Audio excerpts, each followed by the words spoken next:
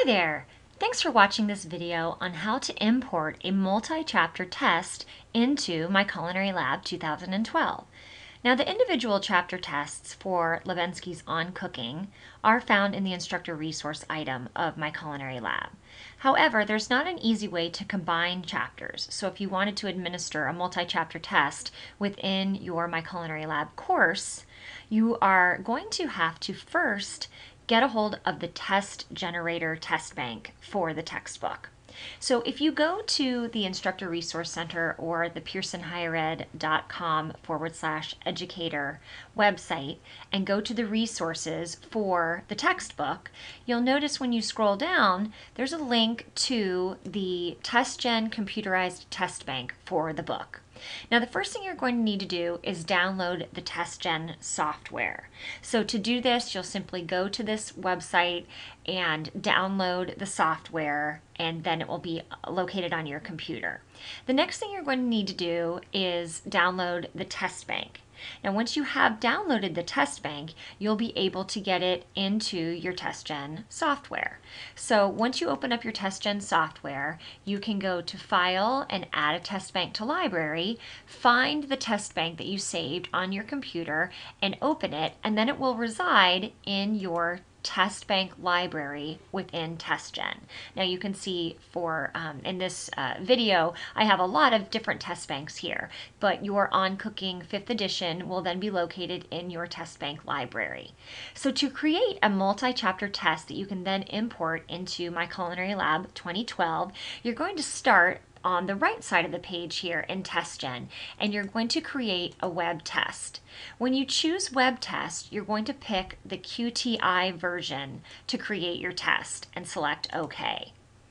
Now you've got your blank slate that you can use to create your test. So we're going to go into the on cooking um, test bank and let's say you wanted to do a test over chapters 1 2 and 3 you could open up your chapters and either drag and drop questions over onto your test or select questions and um, either using control click or shift click select more than one question at a time and then drag them over so once you have your questions from one chapter, you could then go and select questions from the next chapter. Make sure that the questions that you're adding to your test are only multiple choice and true and false questions if you want my culinary lab to automatically grade your test. If you add essay type questions to your test, then you are going to have to go in and manually grade those questions on the test.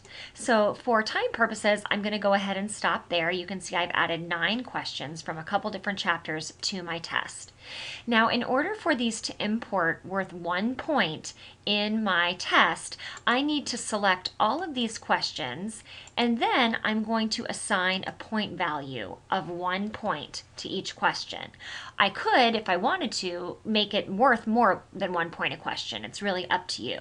But I'm going to select that they're worth one point. If you don't do this step when you import the questions, they default to 10 points apiece just so you know. So you might want to go in and make sure that you select a point value that represents, uh, you know, how many points you want total on the test.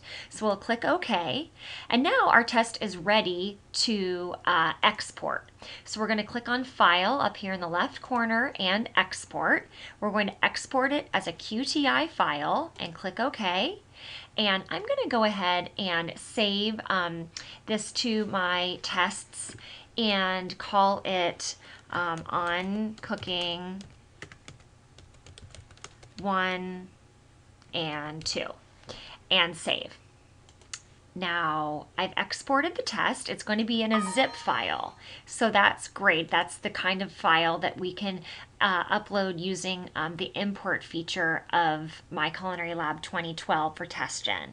So now I'm going to hop over into my course and the first thing I need to do is add an assessment to my course. So to add something to my course, I'm going to click on the left modify menu button and I'm going to go to add and arrange.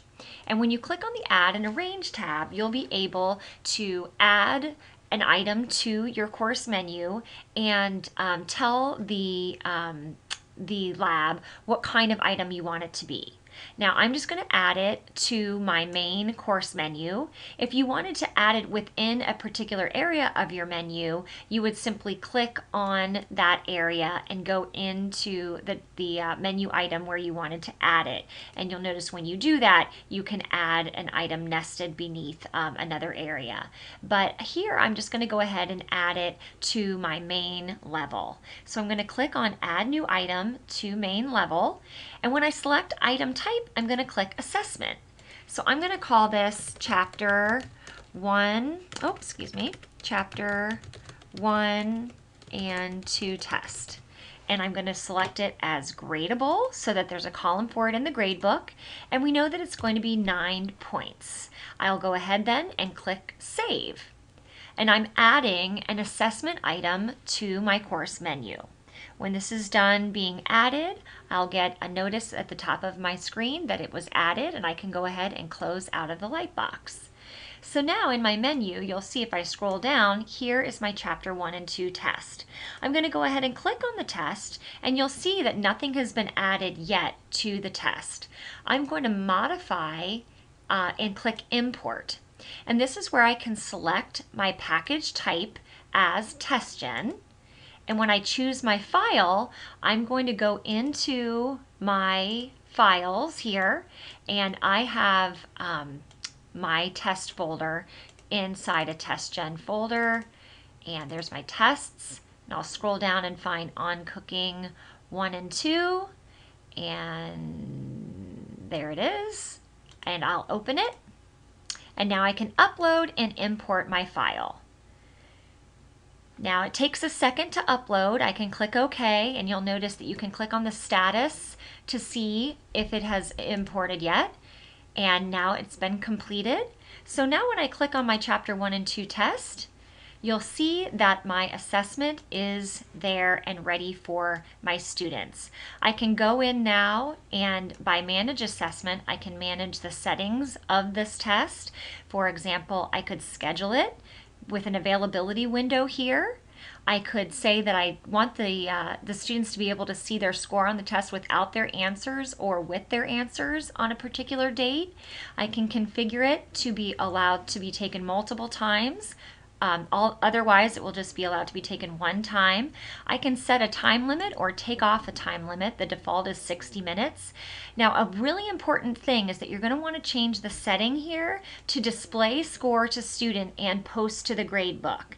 Otherwise, when your students submit the test, you're not going to be able to see their score and you're have, going to have to go in and manually um, through the view details, see what they got, and then add it to the grade book. So you're going to want to change results features to display scores to student and post to grade book and click Save Changes. Now you'll be able to have your students take a multi-chapter test from within My Culinary Lab 2012. Thanks so much for watching.